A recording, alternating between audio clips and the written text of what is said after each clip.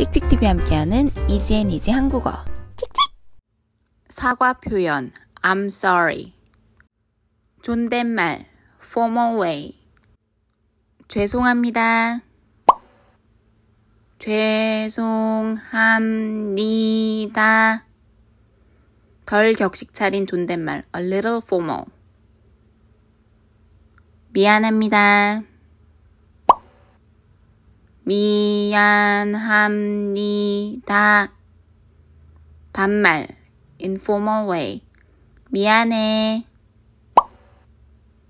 미안해 to whom I talk 죄송합니다 is usually said to somebody older, unfamiliar, or at public situations.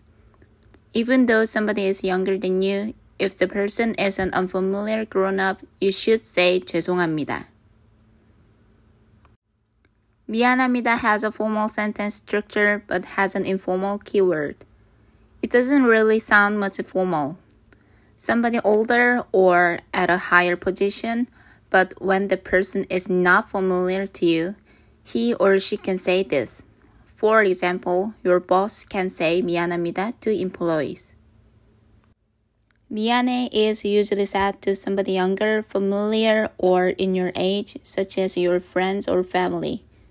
It can be said at casual situations too. Also, you can make it shorter like 미안. That's all for today. See you next time. 다음에 또 만나요. Bye.